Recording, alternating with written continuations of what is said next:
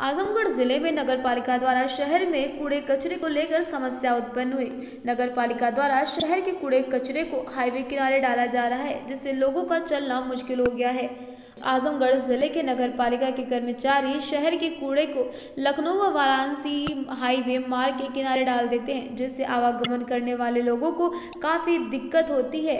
इसके वजह से बीमारी का खतरा भी दिन ब दिन बढ़ा हुआ है। राम लगन विश्वकर्मा। अच्छा ये बताइए शहर की गंदगी को कचरे को यहाँ ला के डाला जा रहा है कितनी समस्याएँ होती हैं? समस्याएँ बहुत होती हैं। एक तो यहाँ से लोग बच्चे जो है पढ़ने के लिए जो यहाँ गाँव घर के आदमी जो बाज़ार में निकलते हैं तो उन लोगों को जो है प्रदूषण का सामना करना पड़ता है। और ये प्रदूषण जो हवा चलती है तो गाँव तक पहुँच जाती है।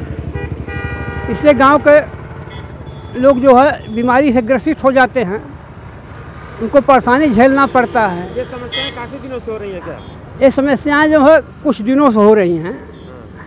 तो इस समस्या का अगर जो है गंदगी दूसरी जगह जो कहीं यहाँ के नगर पालिका जो है इस गंदगी को दूसरी जगह पर लगा दे तो गाँव की सुरक्षा हो सकती है। यहाँ के जो है गुजरने वाले जो लोग हैं मतलब एक कई गाँव का जो रास्ता है